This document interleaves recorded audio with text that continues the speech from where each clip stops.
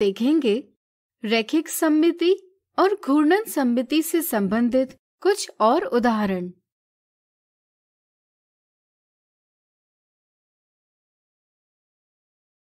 राहुल और मनीषा नीचे दर्शाई आकृति पर चर्चा कर रहे थे। राहुल का मानना था कि इस आकृति में दो सम्मित रेखाएँ, यानी लाइंस ऑफ़ सिमेट्री है, एवं क्रम बारह की घूर्णन सम्मिति। यानी रोटेशनल सिमेट्री है। लेकिन मनीषा का मानना था कि इस आकृति में छह सम्मित रेखाएँ हैं और क्रम छह की घूर्णन सम्मिति है। ज्ञात कीजिए, राहुल की समझ सही है या मनीषा की? यहाँ राहुल ने ज़रूर एक ऊर्ध्वाधर सम्मित रेखा, यानी वर्टिकल लाइन ऑफ़ सिमेट्री और एक क्षैतिज सम्मित रेखा, यानी हॉरिजॉन्टल लाइन ऑफ़ सिमेट्री खींची होगी और सोचा होगा कि आकृति में दो सम्मित रेखाएँ हैं। राहुल और सम्मित रेखाएँ खींचना भूल गया होगा। इसी तरह उसने सभी कोनों की गिनती की होगी जो बारह है। और समझा होगा कि यहाँ बारह कोने हैं, इसलिए घूर्णन सम्मिति का क्रम भी बारह होगा। यह भी गलत समझ है। इसलिए हम कह सकते हैं कि राहुल की समझ गलत है।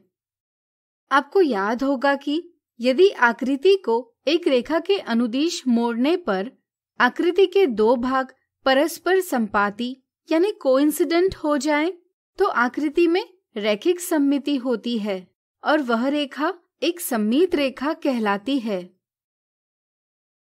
इस तरह से इस आकृति में इस प्रकार से पहली इस प्रकार से दूसरी, इस प्रकार से तीसरी, इस प्रकार से चौथी, इस प्रकार से पांचवी और इस प्रकार से छठी सम्मित रेखा खींच सकते हैं।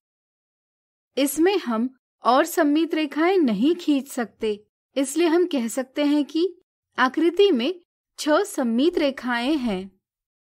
घूर्णन सम्मिति की जाँच करने के लिए आकृति पर एक बिंदु दर्शाएँगे।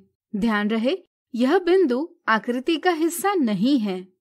आपको यह भी याद होगा कि आकृति को घुमाने पर यदि वह पहले जैसी दिखती है तो आकृति में घूर्णन सम्मिति होती है। जिस कोण पर आकृति को घुमाने पर हमें घूर्णन सम्मिति दिखाई देती है, उस कोण को हम घूर्णन का कोण कहते हैं। एक पूर्ण चक्कर में जितने घूर्णन के कोण होते हैं, उनकी गिनती को हम घूर्णन का क्रम कहते हैं। यहाँ इस आकृति में 60 degree 120 degree 180 degree 240 degree 300 degree 360 degree इत्यादि छह कोणों पर घुमाने के बाद हमें घूर्णन सम्मिति दिखाई देती है। इस तरह से हम कह सकते हैं कि इस आकृति में क्रम छ की घूर्णन सम्मिति है। इससे अब हम कह सकते हैं कि मनीषा की समझ सही है। अगला उदाहरण। नीचे दी गई सारणी को पूरा कीजिए। अंग्रेज़ी वर्णमाला, यानी इंग्लिश अल्फ़ाबेट के अक्षर सी के मध्य से जाती हुई एक क्षैतिज रेखा इसे दो भागों में बांटती है, जिससे ऊपरी आधा भाग और नीचे का आधा भाग एक दूसरे के दर्पण प्रतिबिंब दिखाई देते हैं। इसलिए हम कह सकते हैं कि यह एक सम्मित रेखा है। इस रेखा के अलावा और कोई भी सम्मित रेखा सी पर नहीं खींची जा सकती। इसलिए हम कह सकते हैं कि सी में सिर्फ़ एक सम्मित रेखा है।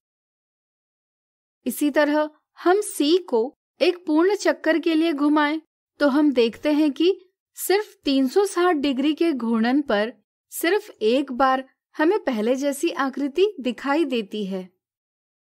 इसलिए हम कह सकते हैं कि सी में क्रम एक की घूर्णन सम्मिति है। इसी तरह आप एन की पंक्ति स्वयं भरिए। अब तीसरी पंक्ति के इस आकार को देखिए। क्या इसमें हम कोई सम्मित रेखा खींच सकते हैं? सोचिए सोचिए।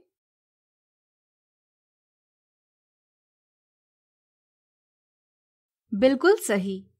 इसमें एक भी सम्मित रेखा नहीं खींची जा सकती। इसलिए इस आकृति में सम्मित रेखाओं की संख्या शून्य है। इसी तरह इस आकृति को अगर हम 120 डिग्री के कोण पर 240 डिग्री के कोण पर और 360 डिग्री के कोण पर घुमाते हैं तो हमें पहले जैसी ही आकृति प्राप्त होती है।